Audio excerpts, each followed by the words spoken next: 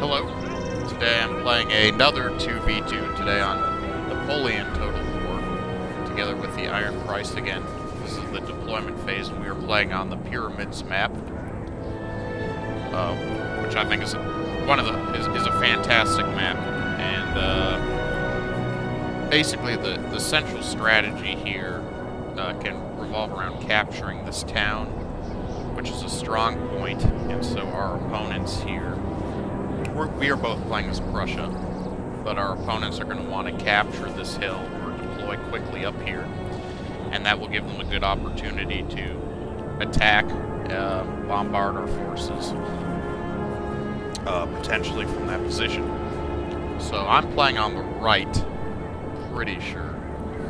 I see no one cares about deployment. Let's speed this up.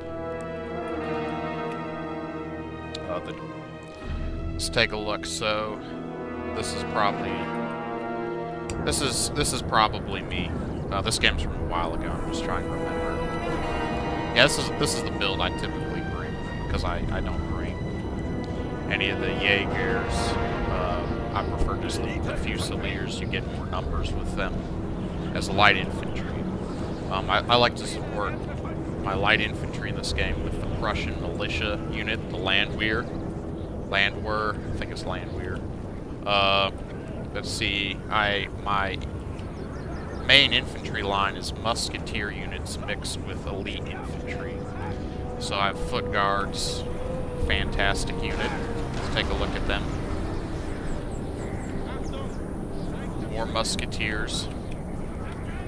So I think the real advantage, 8th Life Regiment, the real advantage of the uh, Prussians are their light infantry are probably the best in the game.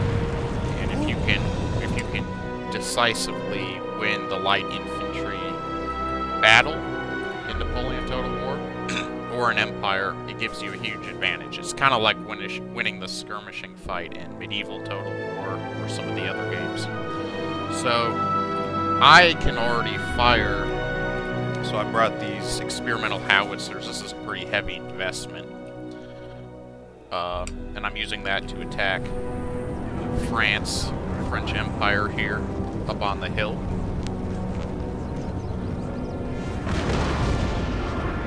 So, again, this is a, a very strong point uh, for this French player. So, yeah, it looks like we have two French players to attack. Um, the, the howitzer units are really not good versus other artillery here I have 12 pounder foot artillery. I'm trying to use this. So this is a really good way to attack the enemy troops. So that was a good hit on that cavalry unit. I guess it only took out six. But if, if you can fire across the length of the unit, uh, that really increases your chances of, of taking out a lot of the enemy forces. So this player is moving in very aggressively. That's probably smart because you know they're they're taking a lot of hits from this experimental howitzer.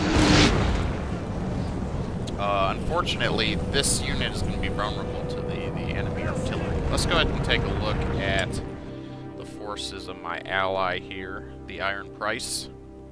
So musketeers, musketeers. So it looks like his whole mainline infantry is all just uh, sort of the, the, standard Prussian infantry unit, musketeers. And he's brought the Jaegers, uh, which are the Prussian riflemen. And they have a much...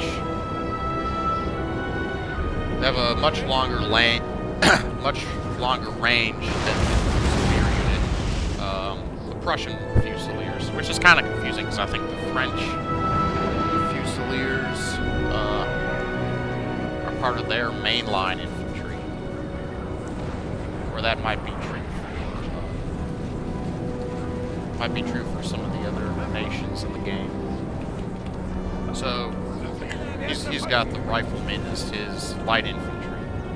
And so he does have elite infantry further in the back. So, Prussia doesn't have uh, necessarily the best cavalry in this game. I always bring the Lancer units or the Uhlans that are very, very effective on the charge, will not, not necessarily do well in prolonged combat. This is bad, so this light infantry unit is probably going to need it. We took out a lot of their... Yeah, Grenadiers à Cheval, so this is... I've taken out most of this unit already. This is the best cavalry unit in the game. Very very expensive. This Our men are running. Might be destroyed, but to take out such an elite cavalry unit, and such a heavy investment for the enemy player, that'll be very good for me early on. Uh, here it seems like this other player isn't press pressing uh, pressing as much forward, but he has a very this is a six-inch howitzer. I thought he might have had the Grand Battery of the Coalition, which is probably the most powerful powerful artillery unit in the game. And you know, if, if you bring that, our men France, are running, sir. You don't need to move. You, if you can force the enemy to come out. so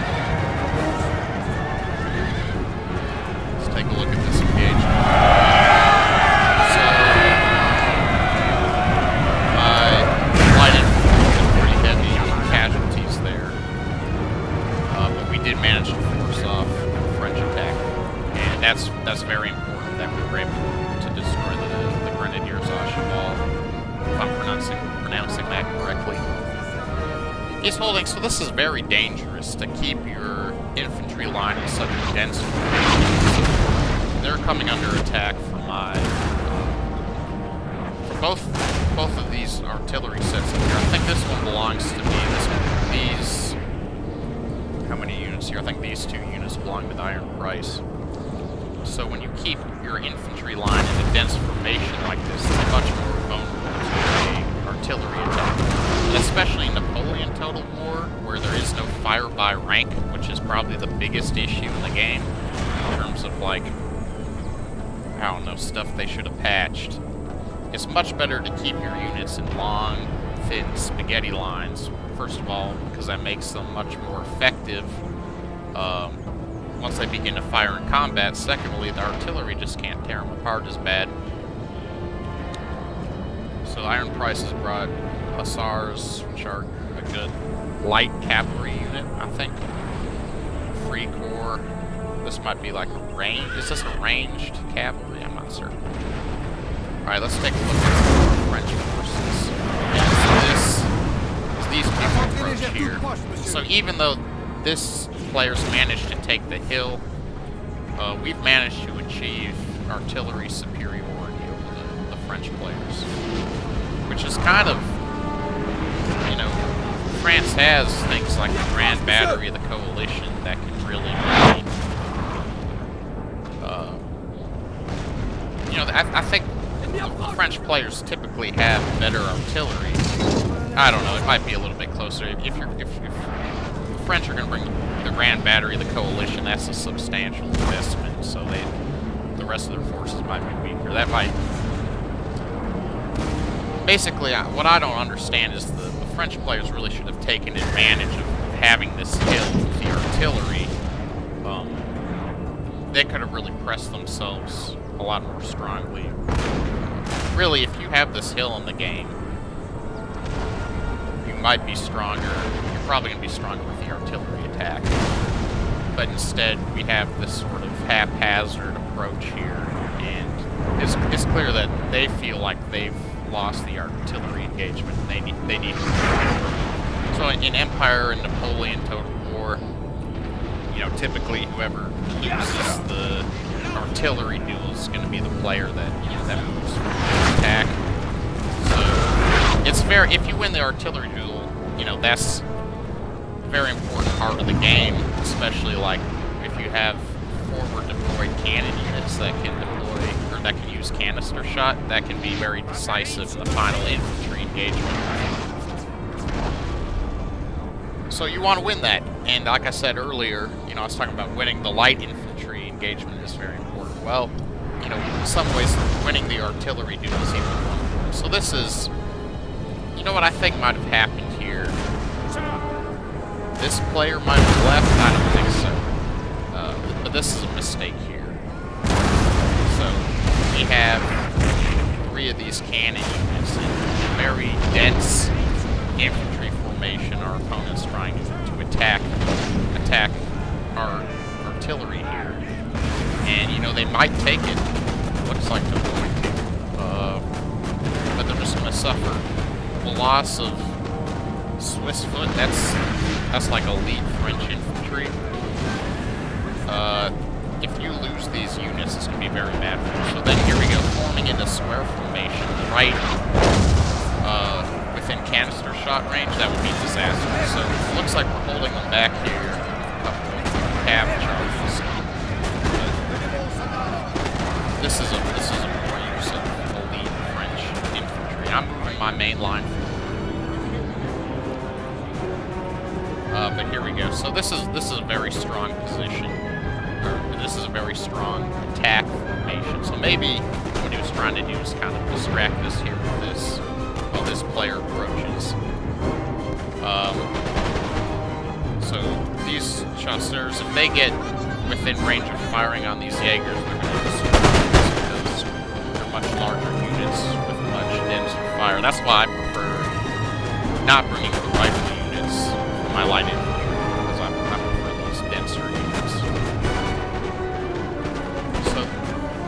attack proceeds uh, like it's going, they're gonna they're gonna definitely destroy Iron's light infantry here. So this whole attack Our men are running, disastrous. Uh, we definitely lost some cavalry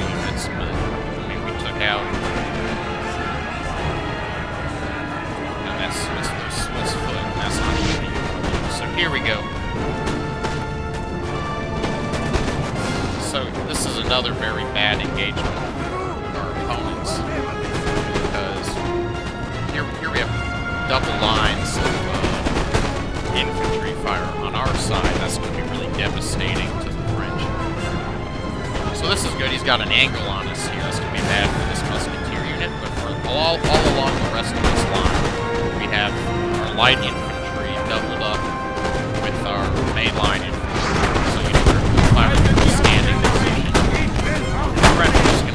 Take a lot more hits than we are. We're gonna use our militia unit to, uh, Our men are running, sir. if they can get a charge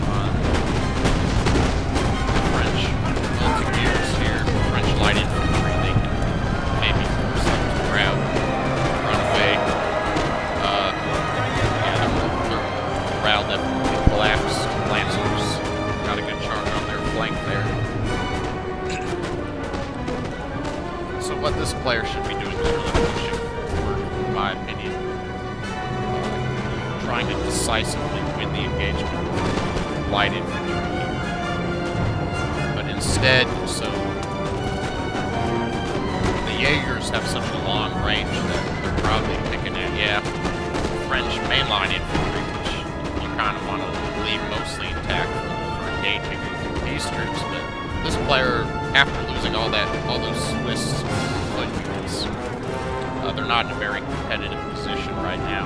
Old Guard, probably the best infantry unit in the game, already taking significant casualties. So I would say that we pretty much have this game. We don't have it wrapped up. but We definitely have. We definitely uh, this engagement is going much better. Now I'm I'm making mistakes here. I've been sort of flanked. Uh, this is much better this musketeer's gonna probably not do so well fighting these forces like that. This is kind of strange. I think these belong to Iron Price. I wish he had kept his units here in the attack. What I really need to do with this this musketeer unit is move it back so it can engage engage them. Sir! Sir! Our Face to general face. is under attack. good to keep morale up by having your uh, general unit close. So this, all this back and forth squares, this is fantastic. So if, if I can force his infantry line to, to get into the square formation here. Just by moving in and out of square formation, that, that's really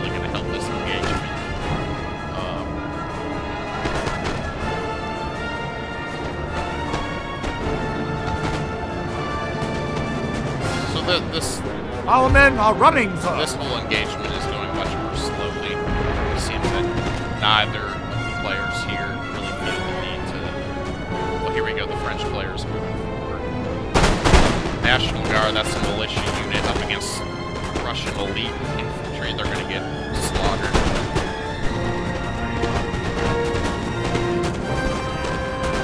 I think uh, the, Prussian musketeers, which are just like regular line infantry from the Prussians, I think they're, they're definitely better than the French mainline infantry as well. So you can see these players invested a lot. Maybe that's why they didn't bring uh, kind of elite artillery units. They invested heavily in their infantry. A ton of elite French units. You got the Polish Legion. And we saw this, this foot Field Guard. Very competitive mainline infantry units, but they didn't have the support they needed. So, it looks like we, uh, have a lot of aspects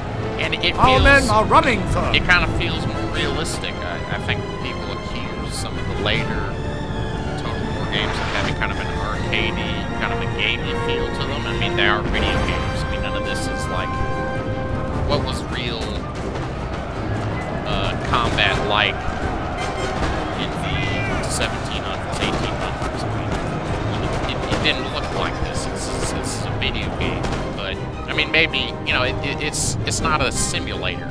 Okay, I mean, they're video games first, but when you have these prolonged engagements, it, it, it gives it kind of heavy, realistic feel, and that's something that I appreciate playing. So, like I said, this here here's the problem with this engagement.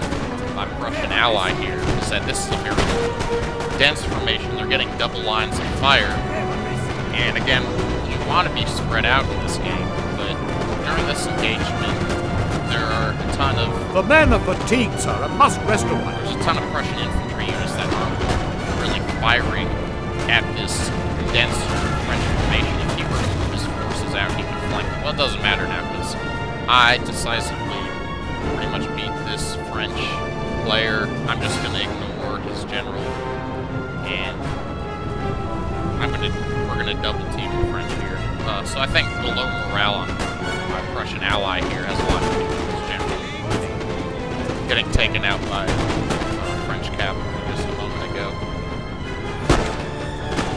The other thing in, in terms of quote-unquote realism is in all the Total War games, the unit size is much, much smaller than anything that actually went down in these time periods. Uh, I mean, many tens of thousands of troops. You had tens of thousands of troops. You just can't achieve those numbers uh, in any total war game. I think I think you can edit the unit sizes. I think there's videos of people who've done that to, to get gigantic, huge infantry uh, numbers, huge cavalry numbers, whatever.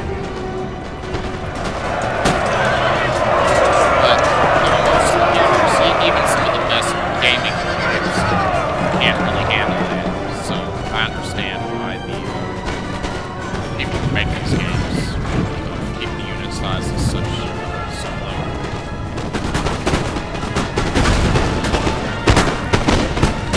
Musketeer. So a lot of my mainline infantry is taking very uh, few.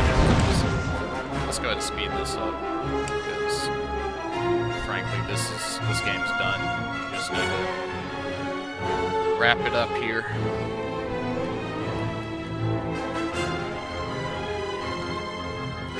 We have killed their general, sir. Now they must break.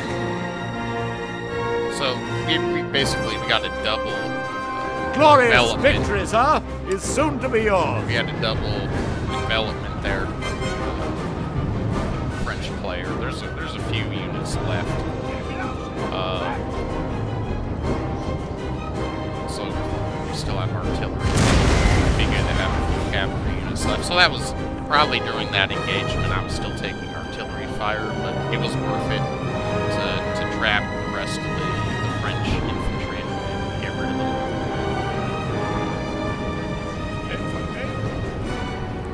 So put this on fast forward.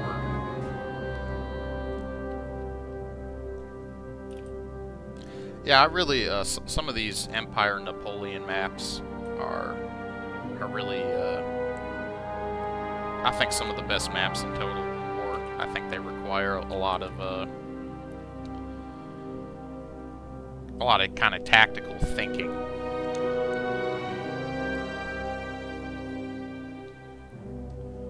I mean, a The lot, men are mo- fatigued, many of the must games rest have- a while. they all have good maps, but some of these are my favorite. Pyramids is definitely one of my favorite maps in any Total. So is Waterloo. Um, that's a good map. I'll, I'll probably show some Waterloo map battles later. So there we go. I think at that point the uh, opponents left the game, admitted defeat. So that, that was a good game. Uh, for us, anyways. I actually might have thought it was a different. We, we, we played a different battle on the Pyramids map with a French player brought the, the Grand Battery of the Coalition, which is kind of the elite French artillery unit. It's, uh, and we were playing on this side of the map, and, and they had the, uh, with that unit, we were taking heavy artillery fire throughout the game. It was a much more competitive game, I think, than what happened here. It's organized by kills. So yeah, line infantry uh, doing the bulk of the work here. Uh, though of course, I mean that's a that's a huge number of kills, especially for light infantry, foot guards. A lot, a lot of cavalry engagements in this game are very quick and are uh, over with soon. So there we go. Uh, hope you enjoyed it.